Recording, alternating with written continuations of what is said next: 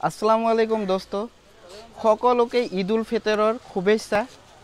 এই কৰোণা মহামাৰীৰ ওচৰত আল্লাহ তালাৰ ওচৰত সকলোৱে দোৱা কৰিব যাতে আমি মছজিদত নামাজ পঢ়িব পাৰোঁ ঈদগাহ ময়দানত নামাজ পঢ়িব পাৰোঁ।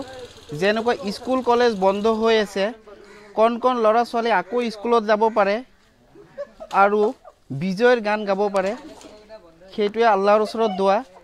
আমি সকলোৱে ভাতৃত্ববোধেৰে জীয়াই থাকিব লাগে হিন্দু মুছলিম সকলোখিনি। চ' এইখিনিয়ে আৰু অৱশেষত মোৰ কাৰণে দোৱা কৰিব। খুদা হাফিজ।